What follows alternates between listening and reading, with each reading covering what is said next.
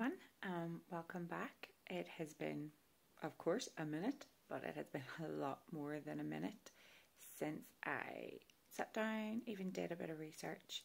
So, yeah, I am so glad to be doing it again. It has taken me a while to get back into the swing of things and um, get settled in, but here we are back and in 2024. Ooh, so, first video of the year, first of many, I hope, to try and keep this going. And I hope that everybody had a wonderful Christmas break and plenty of family time, plenty of family memories to be made. And I just hope that you all had a wonderful time. And who is just looking forward to getting this year started, getting going, seeing what we can achieve. Oh, hopefully, lots of brand new bright things coming 2024 for everyone. And this, of course, as you know, is my little mummy time. My time for me, getting to do the research, getting to even make these videos. It might seem quite silly to everybody else, but you know, I do my hair and I put some makeup on and for a mummy of four who normally is trying to just brush her hair in the morning, I'm sure people can relate. Um, it it's a little bit of just me time, and I hope that if you enjoy the true crime, this gets to be a little bit of your me time too. Of course, it's for everybody, not just for mummies, but I hope it does help anybody who's out there sit back and relax and enjoy a little bit of true crime, maybe some cases you've heard of, maybe some you've never heard of. Who knows? But hopefully, here we go. So, I had got a new book in the Christmas sales, and it was uh, called True Crime Casebook, and it was by Sam Pilger. And I just love it. I haven't even finished it yet. I am. I got sort of through the first three or four, and it's just brilliant. So it starts off in the 1920s. I highly suggest it. They're like small little case books, so they're quick and easy to read when you have the time to do it. Um, I highly recommend the book. So good so far. So again, in the 1920s, um, this one is from a little bit of its Hollywood theme. So can't keep them with the pantos and things like that, mm, sort of at this time of year. But it's the first case in the book. I thoroughly enjoyed it. I thoroughly enjoyed researching it. It is unsolved. So, a little warning it's an unsolved murder. But, uh, which I normally hate. They drive me insane. They drive me crazy. I can't actually usually read unsolved murders because I'm like, oh, I need the answer. But uh, this one is just, it just got me. Plus, you could kind of work it out on your own, but it being America and it's the 1920s and you know all the mob gangs and things were all on the go then as well. So, but this is so interesting. So he's so high profiled, um, and he was actually born in a little town in Ireland. Uh, so let's get stuck right in. So yes, William Desmond Taylor. He was born William Cunningham Deane Tanner, and he was born in April 1872 in County Car- Carlow. Yes, County Carlow, and he died on the 1st of February 1922 in LA. He was he moved to LA in 1890. Um, a little bit of a backstory. He was the third son of Major Deane Tanner. Um, his father had sent him off to work in Kansas um, in the 1890s because he failed his army exams. And this, obviously, being the major in the army, would have preferred his son to be in the army, but um, he didn't. So he sent him off to work on the ranch in Kansas and try and start and make a life for himself there. So let's fast forward a little bit. We're into the 1900s now. Um, on the 7th of December 1901, William married Ethel May Harrison and they had a daughter called Ethel Daisy in 1903. Little history about Ethel May Harrison, his wife. Her father was a very famous, I think, like a very high up like stockbroker and stuff. So she she was also a little bit of an actress herself. Um, so yeah, it, it's all sort of coming together. So they had their daughter, and then he had a job in an antique store. He he ran the antique store. Um, I think that Ethel's father actually gave him a lot of help with that to get it up and going. Um, he lived the family life for a very, very short time. So on the 23rd of October in 1908, William left. He left his wife, he left his child, he left his job, he just left. He disappeared, he moved to LA, and um, it actually, there was a rumour saying that he phoned the antique shop that morning asking if he could borrow $600 and that he would pay it back once he'd made his way and to the world. But yeah, he just left. Just left his family. Never returned. He never returned. They got divorced in 1912 and eventually he did in 1921 go back and visit his wife and daughter. Um, but I think Ethel got a bit of a shock when the first time she seen her husband again after he had left her was on a big silent movie screen. So yeah, I think that that may have just been a little bit of a surprise. But yes, that was that was William. He decided to follow his dreams and up and left his entire family. Yeah, to go and do that. Now, having said that, he was very good at his job. He was a very good silent actor he moved into directing and he was very, very renowned, very good director. He um, directed some of the biggest movies uh, there was about at the time. He directed Huckleberry Finn, Anne of the Green Gables, um, and he also directed Tom Sawyer. He worked with big names in the silent movie industry in the 1920s.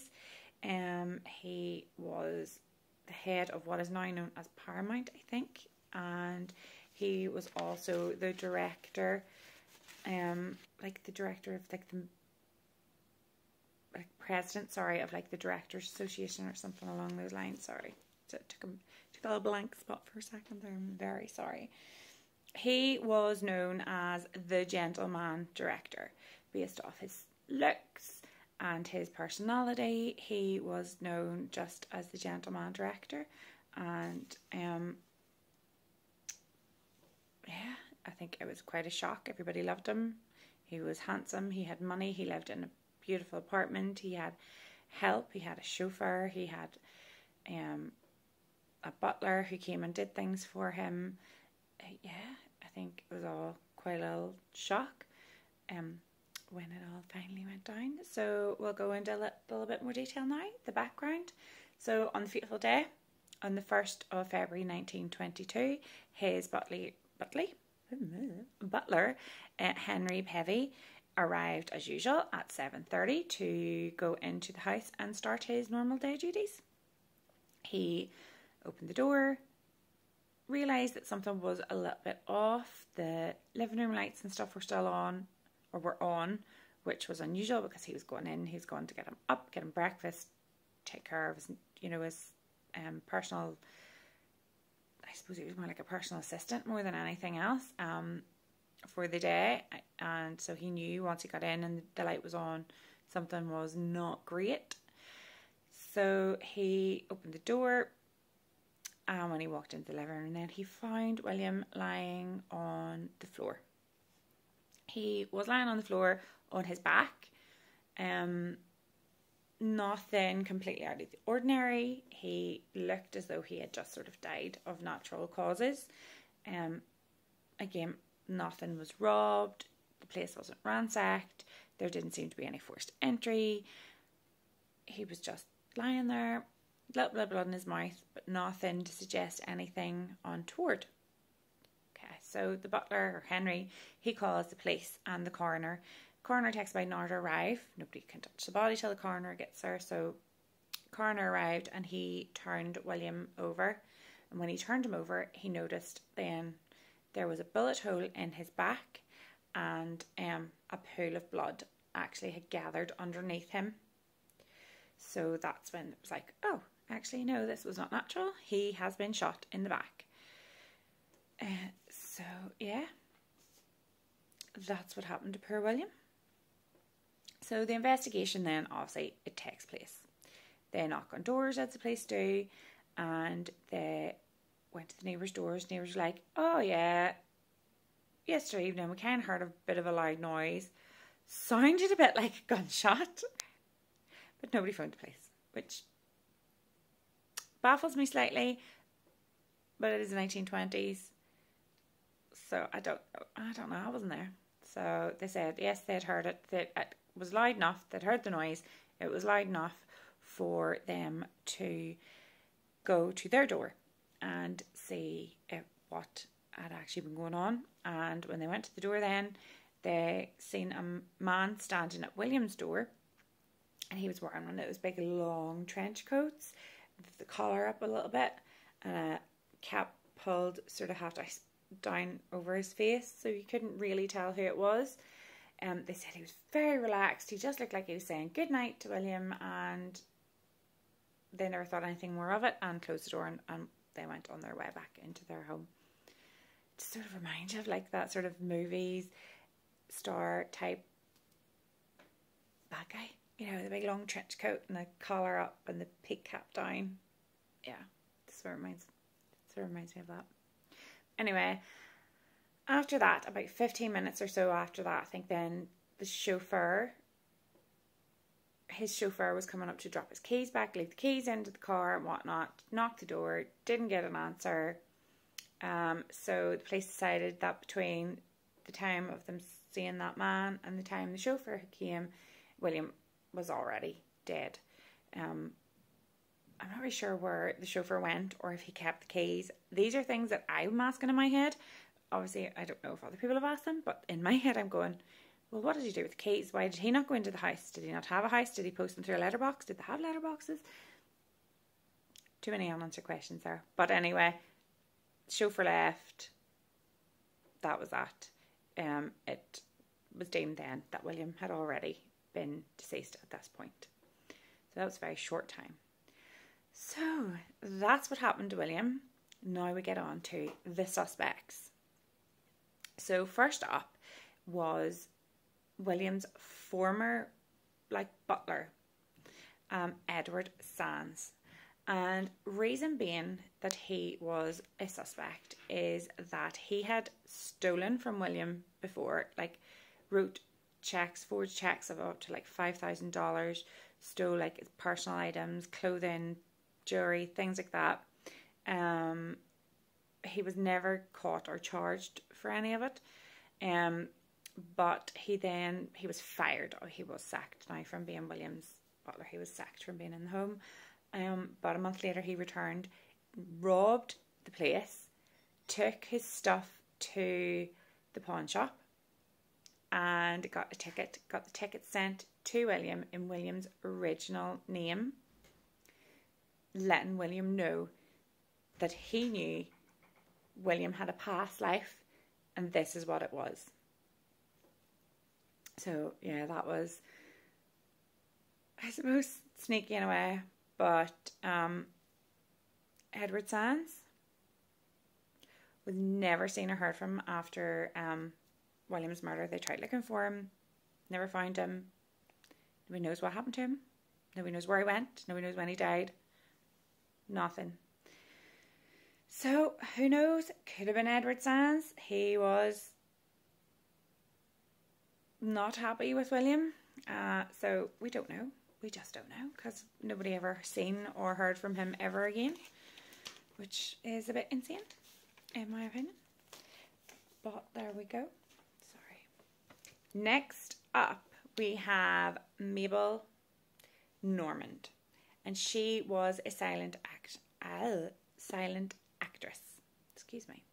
She was known as the Queen of Comedy, and it is rumored that her and William were actually in a relationship together.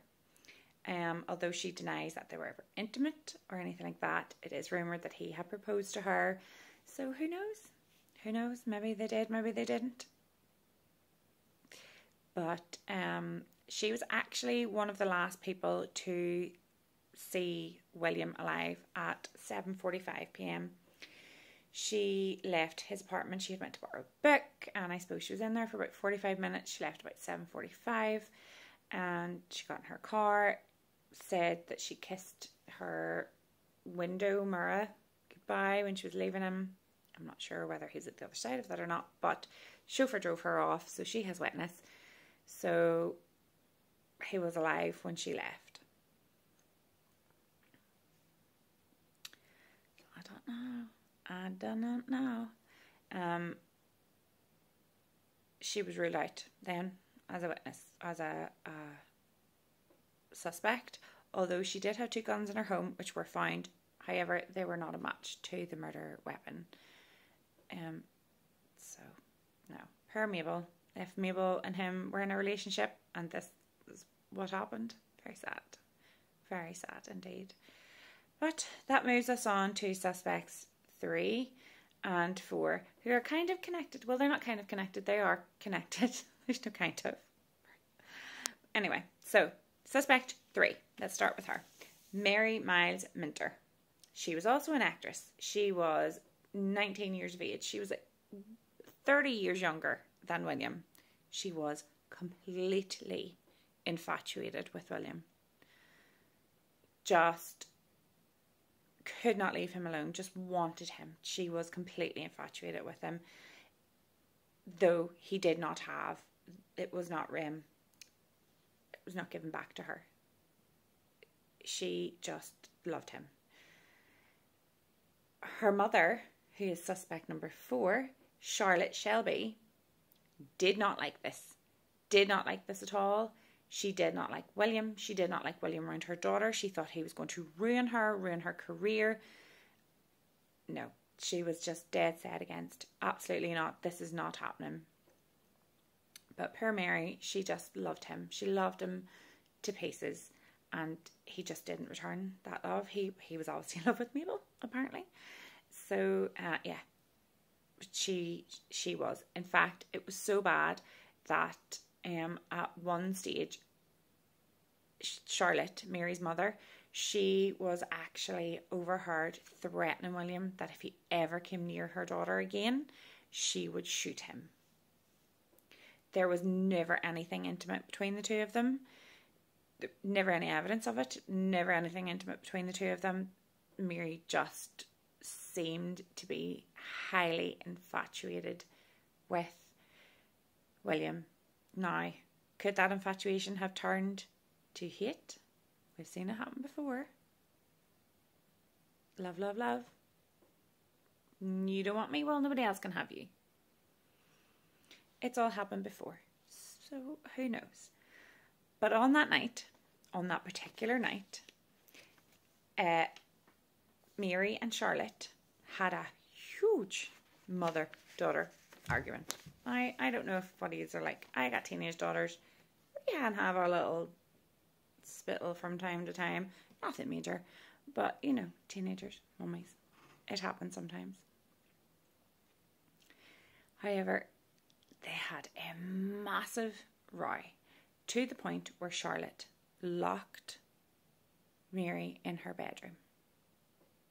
Now, this comes from Margaret, Mary's sister, Charlotte's other daughter, obviously. Um, and yeah, she had locked locked Mary in her bedroom.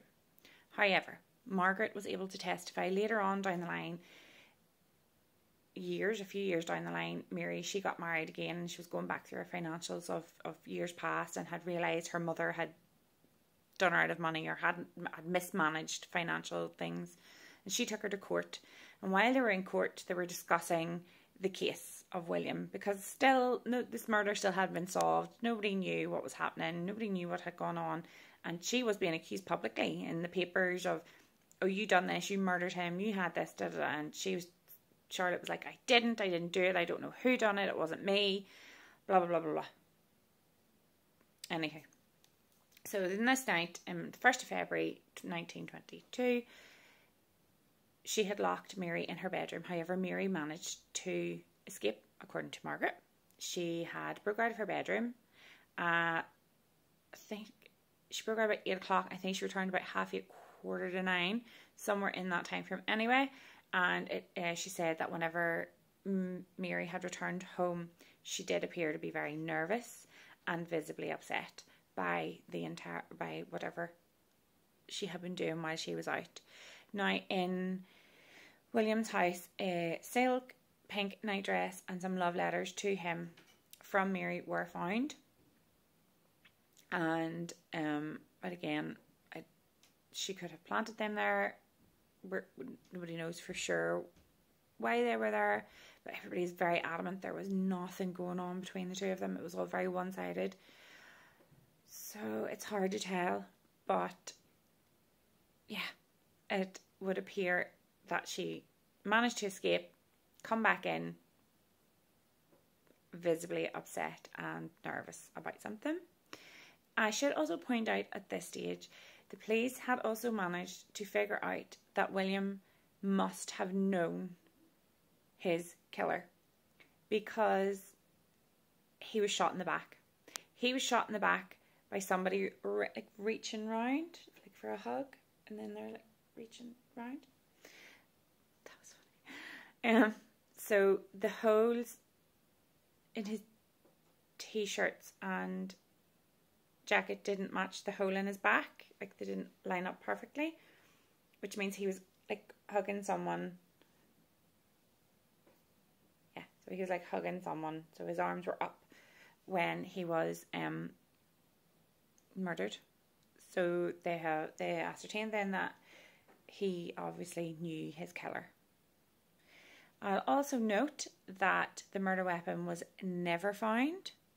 However, bullets that matched the murder weapon matched bullets that were found in Mary and Charlotte's home. Um, but they were both acquitted. They both both said in a court of law that no, there was not enough evidence to say that either one of these women knew what was going on or anything like that. So that that ruled them out as well, apparently. Then we have suspect number five. Really not a suspect at all. It's more of a deathbed confession. Very out there, very random, and not a lot of information given. So this was a lady called Margaret Gibson, and um, on her deathbed, she confessed to her next door neighbours after taking a heart attack that she was the one who killed William. Um, she was never on the police's radar at any given point. She had worked with William on a few occasions. She was never in their radar, never even, her name was never even put in a sheet, I don't think. Um, unfortunately, that's all she said to her neighbours. And then she got taken away and she later died in the hospital and so nobody got any more evidence about. So maybe Margaret Gibson did it. Maybe she just went a bit cuckoo towards the end. I don't know. But um so that was it. That was William. And that was his murder. And they are his suspects. Oh, I have so many ideas running through my head. My main surmise is that two things. Either Mary did it herself, went out, maybe tried to get with him, and he said no, so she killed him, and then got rid of the murder weapon, and then came back to the house. Or two, they hired Sands to murder William. He done it then disappeared, never to be found or seen again. But I definitely, definitely think that Mary and Charlotte were definitely linked to that murder some which way. Now, still unsolved all these years later, the physical evidence unfortunately has been destroyed over the time, so it's never really going to get solved, which is so sad. He was so big and so loved in Hollywood and to just go like that, what a way to go. If you're in the movie business, I suppose it, it, it creates a story, a drama for later on down the line, many years to come, and some of us can repeat the story. And it's been unsolved, so it's a mystery. But I do hate unsolved cases. but that is my theories anyway, my two theories. Um, but yeah, uh, that was a quick one. I hope that you thoroughly enjoyed it. I am getting back into swinging things a little bit. It's going to take me a little while, but I'm getting there. And um, yeah, that, that's it for our video of 20, first video of 2024. And hopefully there'll be many, many more to come. Thank you so much for staying with me all this time if you made it through. And I hope to see you all again really soon.